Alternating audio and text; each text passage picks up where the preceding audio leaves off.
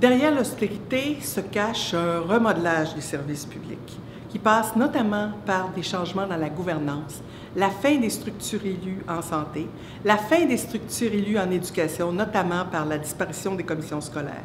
On va les remplacer par des conseils d'administration composés majoritairement de monde, de membres provenant du milieu des affaires, des villes dans le cas des commissions scolaires. Est-ce que vous pensez que le milieu des affaires ou que les maires sont intéressés par les questions d'éducation ou de santé. Pas du tout. Euh, c'est donc euh, vraiment, on retourne en arrière, on retourne en arrière en ce qui concerne les services publics et c'est très inquiétant.